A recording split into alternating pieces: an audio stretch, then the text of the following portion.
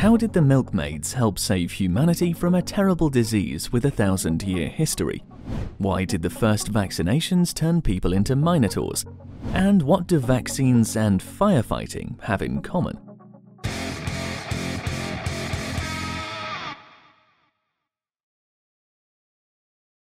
The history of vaccines begins with a disease that was thousands or even tens of thousands of years old.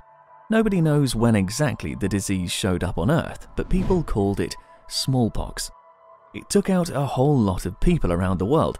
In the 20th century alone, it was responsible for the death of 300 million people, and the infected were transformed so heavily that it could not be overlooked. People were falling ill after the virus got into their respiratory tract. After a week or so, the affected developed chills, fevers, and excruciating pains. The fever subsided after several days, but the virus itself wasn't going anywhere. At first, ulcers appeared in the oral cavity, then they spread to the face and later on covered the entire body. The affected person was literally covered with growths and looked like this. These ulcers filled with pus, they are also called pustules, caused severe pain. About a third of people who contract smallpox eventually died, and the survivors were forever left with deep scars that remained after the ulcers. No one knows exactly when smallpox appeared, but it left its first trace about three and a half thousand years ago. The three mummies with a characteristic rash were found in Egypt. In 430 BC, a smallpox epidemic swept through Athens, killing a quarter of the Athenian army and a large portion of the city's population. In the Middle Ages, the Crusaders returning from the Middle East brought smallpox to Europe.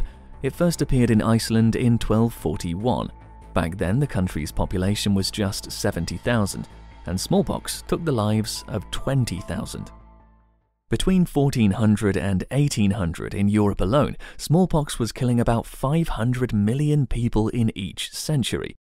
It did not spare even the rulers. Among the deceased were the Russian Tsar Peter II, Queen of England Mary II, and Emperor of Austria Joseph I. It is no wonder that different nations came up with the gods and patrons of the natural smallpox.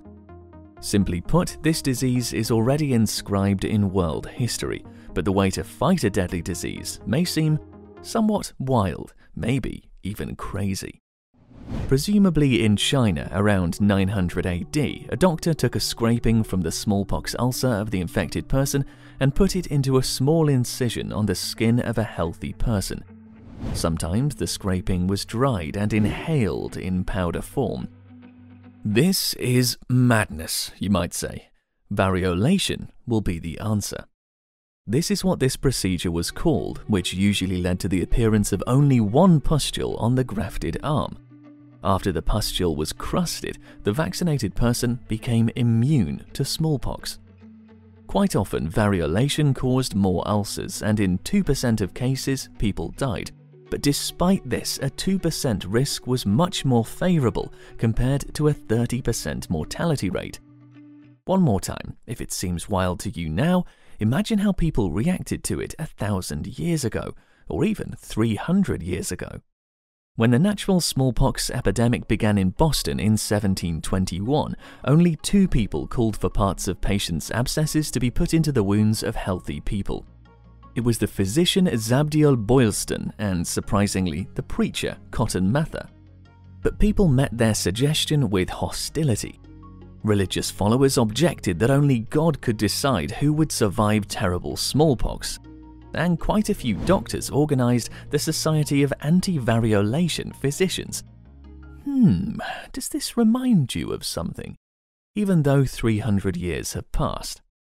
So, over a year, Mather and Boylston collected enough data to claim that those who were, so to speak, vaccinated had a 2% chance to die. And among those who received the disease naturally, the rate was at 14.6%. This data has significantly tempered all skeptics and radicalists. Another important event in the history of vaccines took place in 1776, and the main character of this story was the English physician Edward Jenner, who, thanks to his observation, intelligence, and cows, saved millions of lives.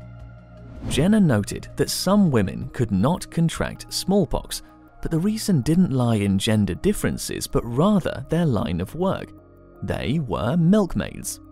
He witnessed how an entire family of farmers contracted smallpox except for one girl who previously touched an ulcer covered udder and contracted smallpox when milking a cow. She went through the disease easily, although distinctive vesicles appeared on her fingers and then formed scars. Now we can safely say that the girl simply developed an immunity, but 250 years ago, the knowledge of people was shrouded in darkness. After that, Jenner held a series of experiments. First, he subjected variolations of smallpox to those who had been sick in the past. The ancient vaccination simply did not work for such people. After a series of successful experiments, he confirmed the hypothesis that those who had been sick with smallpox cannot become infected with the natural one. Therefore, he began to introduce particles of cowpox into healthy people. For 20 years, Jenner vaccinated people with cowpox, and then the doctor came up with a new method. He began to take pus for vaccination, not from cows, but from people who were vaccinated with cowpox. The first such vaccine was received by 8 year old boy James Phipps. Redness and abscesses appeared around the incisions, the body temperature increased, but the painful symptoms were limited to that. After 22 years of groundbreaking work, Jenner released his work which described a new way to prevent smallpox. He gave this method a well-known name, vaccination.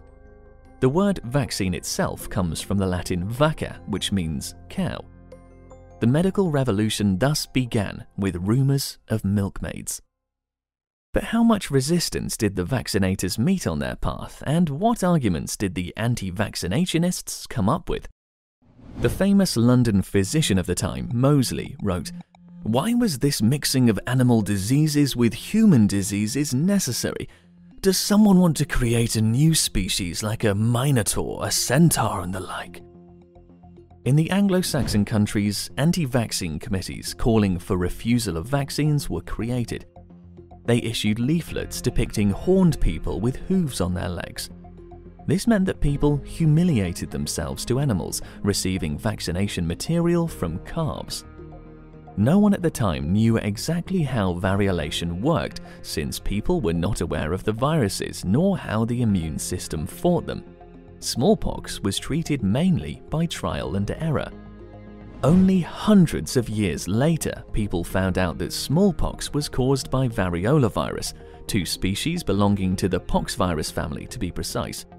That a person has an immune system which preserves their internal structure, that if you feed it a small portion of the virus, it will learn and know its enemy for a long time and in the future will be able to effectively deal with it. This does apply not to all viruses of course, but it worked with smallpox. Moreover, this is the only disease that has been completely eliminated. About 60 years ago, the World Health Organization launched the Intensified Smallpox Eradication Program. When the campaign ended in America, Europe, and Asia, WHO's focus shifted to Africa. And in 1980 in Geneva, WHO announced the eradication of smallpox worldwide the world got rid of the disease, which only in 1967 took away about 2 million people. In society, there is an opinion that a vaccine is a cure for viruses, but this is not so. There are very few true antiviral drugs, and they can cause serious side effects. But the vaccine does not kill the virus, it actually contains a virus in one form or another. The vaccine will not help those already infected. Moreover, it is likely to only worsen the patient's condition. But for a healthy person, this is a way of training the immune system on a weak and safe sample, so that if a virus enters the body, it will be repulsed. Vaccines can be compared to fighting fire with fire. Well, you know, sometimes the only way to put out a large fire is to make it impossible for the flame to spread to adjacent trees. Therefore, people start another fire to meet the major one so that it did not have fuel to continue the journey. The same principle applies here. If a sufficient level of collective immunity is formed in the population worldwide, then the disease simply won't be able to spread to other people, it simply will not have fuel and the disease will die out. That is why now about 100 countries around the world are trying to find a vaccine against COVID 19 so that a healthy part of the population can develop immunity. Yes, smallpox mortality was an order of magnitude higher than that of coronavirus, but this is no reason to play biological Russian roulette now. However, there is a special group of people who have not gone far in their knowledge from our 300 year old ancestors those who believed that vaccines contradict the Lord or are turning people into minotaurs. Here is a little anti vaccination stand up specifically for them. Among the children of anti vaccinationists, the most popular name is Love, because love lasts for three years. Two things never get old jokes about anti vaccinationists and their children. The more anti vaccinationists, the fewer.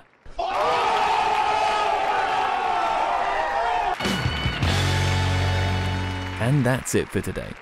Send this video to your friend in doubt. And I'm Bony Right.